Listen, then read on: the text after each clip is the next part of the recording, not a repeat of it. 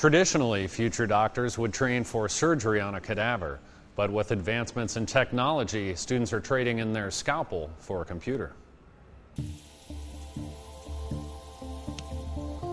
Technology has really played an incredible role, uh, really in all aspects of my life, in particular in the clinical realm. Uh, that's one of the things that we see changing almost on a daily basis. The uh, whole area of my research and, and, the involvement of my research is something that people would classify, I think, as the sort of the bleeding edge of technology. The name of the project is the Validation Dissemination of Temporal Bone Dissection. And we're really looking at the impact of how simulation technology can be used for education and training. I met Don Stredney and uh, he sort of came to our department and said, you know, these are the kinds of things we can do with computers. Do you think there's anything that, that you would be able to apply in the clinical realm? So we started to do some early studies just on looking at visualization of skull-base tumors in three dimensions and how that may help us design certain types of uh, surgical approaches. As the computers got faster and, and we were able to interact with the data on a near real-time basis, the whole idea of simulation and simulating surgery became obvious that that would, should be the next step for us.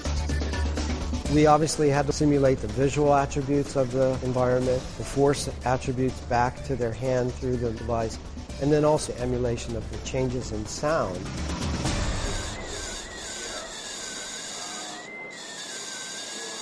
This is the temporal bone surgery simulator that we're working on, and it takes CT scan data from cadavers, people that donated their body to science. I started on this project as an undergrad at Ohio State, and then when I became a graduate student, this became my project, and I've been working a lot on not only doing the graphics, but also the haptic feedback for this project. The word haptics comes from the Greek word haptikos, which means feeling. But there's also kinesiology, which is how your body perceives forces coming back through your joints and your joint positions of your arms. This is a phantom joystick made by a company called SensAble and it uses motors inside to actually give you a feedback when you hit something in the computer.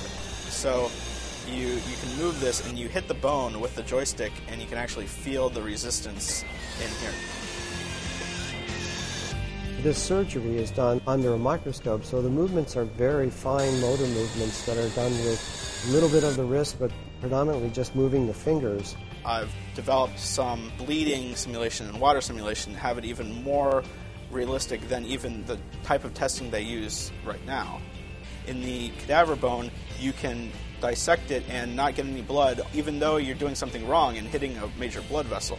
But in the simulation, you have the potential to show right away with the bleeding that something has gone wrong. And now you have to learn how to think on your feet and what would you do in that particular situation. And as you can imagine, easily surmise, it's better for us that they learn this in a simulated environment than in actual practice.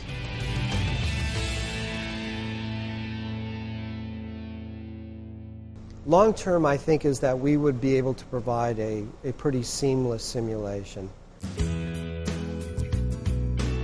The goal is to have better trained surgeons that have a lot more experience when they're out there graduating and starting to work as a full time attending surgeon or, or not in a training program anymore.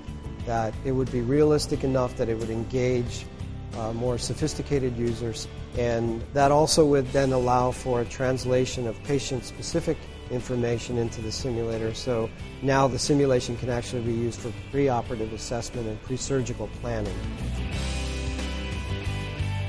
I had almost no medical knowledge uh, except for high school biology classes coming into this. I'm not a computer programmer. I know some things about it. I understand some of their vocabulary, and over the years they've been able to understand some of my vocabulary, but, but really the project is truly multidisciplinary. In some small way, I serve as a translator myself, coming from the College of Medicine, but then getting involved through my graduate studies in computer visualization to kind of integrate those and, and help translate some of the various languages to each other.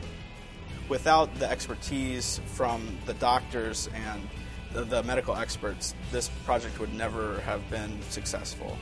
I was incredibly impressed by the program here at Ohio State. It, it, traditionally has been one of the top in the country.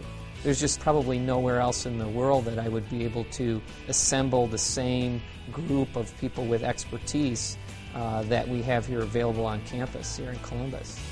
I think that's the exciting aspect of interdisciplinary research because it takes everybody a little bit uh, off center and uh, gets them to learn the different aspects of such a project.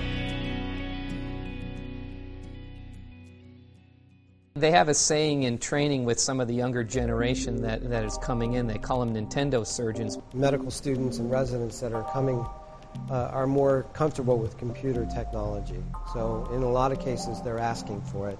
However, I don't want to trivialize the complexity of what they're doing.